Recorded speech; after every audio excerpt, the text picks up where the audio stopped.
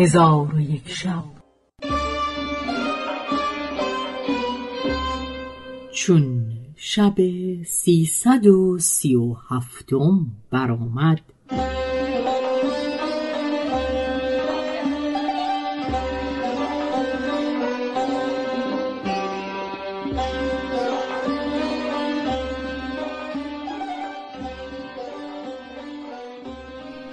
گفت ای ملک جوانبخت چون کنیزک سخن به انجام رسانی؟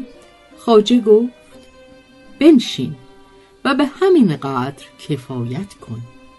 پس از آن خاجه میان کنیزکان اصلاح کرد و خلعتهای فاخر به ایشان پوشانید و گوهرهای گرانبها به ایشان ببخشود.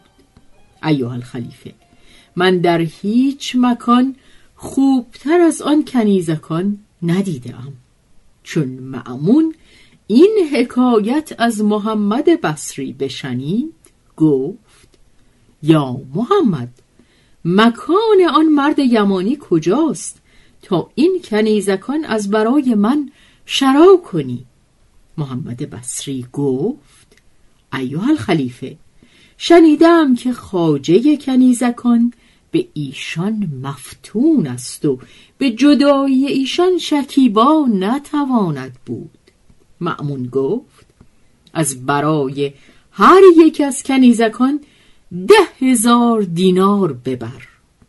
پس محمد بصری شست هزار دینار برداشته به خانه آن مرد یمانی رفت.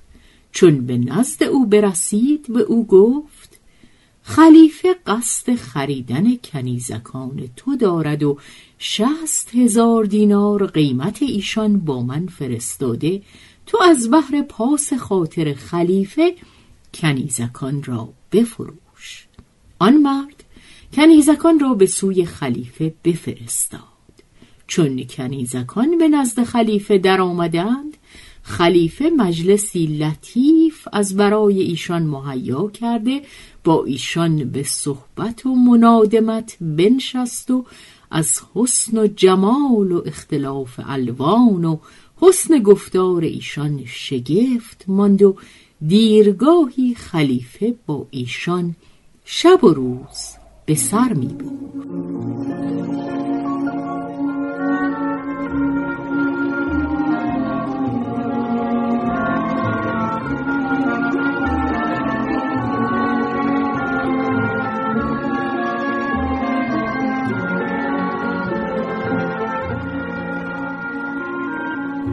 پس از آن خاجه ایشان به جدایی کنیزکان طاقت نیاورده مکتوبی به خلیفه معمون بنوشت و از مهنت جدایی کنیزکان به خلیفه شکایت کرد و در مکتوب این دو بیتی نیز بنوشت.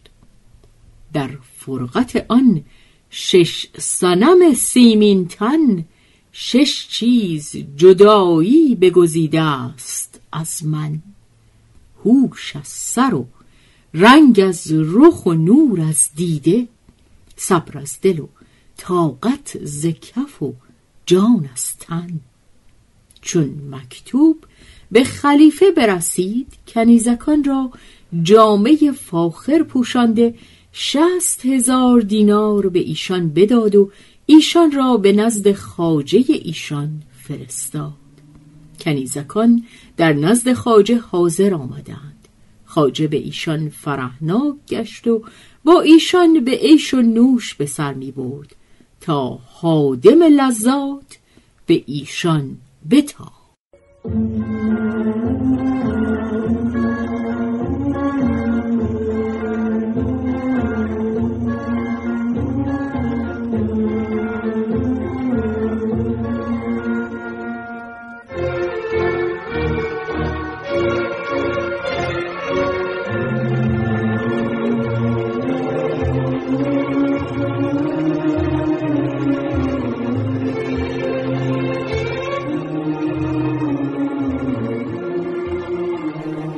حکایت بدیه گویی ابو نواس. و نیز از جمله حکایت ها این است که خلیفه هارون و رشید را شبی از شبها بیخوابی بگرفت و او را فکرت بزرگ روی داد. پس برخواسته در اطراف قصر همی رفت تا اینکه به قرفه‌ای برسید که پرده‌ای بر او آویخته بود. چون پرده به یک سو کرد در صدر قرفه تختی بدید و در آن تخت یکی سیاهی پدید بود که گویا کسی سیاه رنگ در آنجا خفته و در چپ و راست او شمها روشن بود. پس خلیفه او را نظاره می کرد ناگاه دید تاسی پر از شراب کهنه و قدهی بر آن نهادهاند. خلیفه را از این حالت عجب آمد و با خود گفت این شراب و شمع و تخت کجا و این کنیزک سیاه کجا؟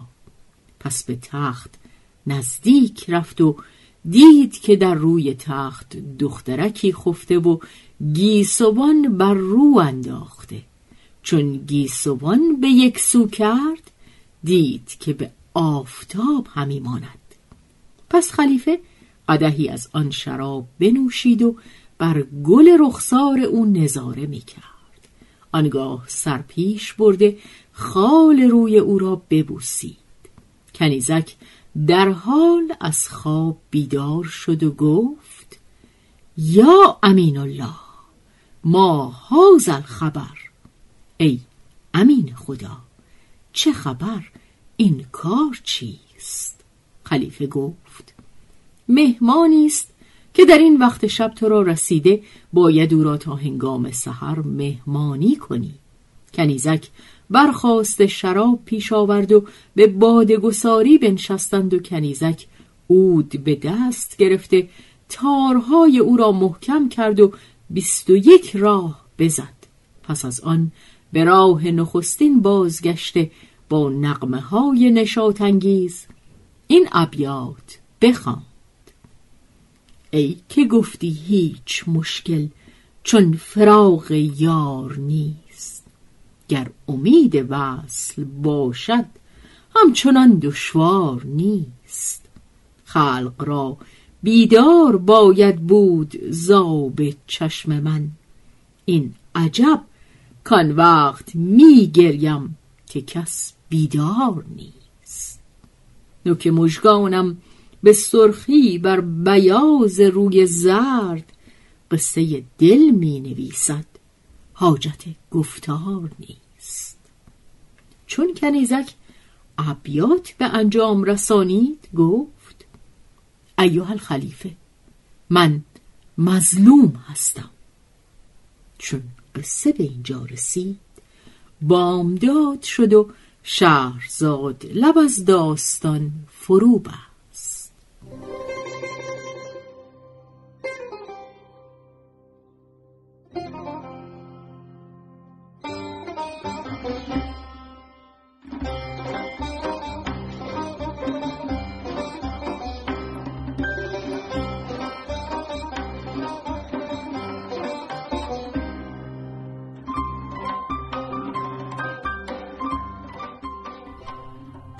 به روایت شهرزاد فتوهی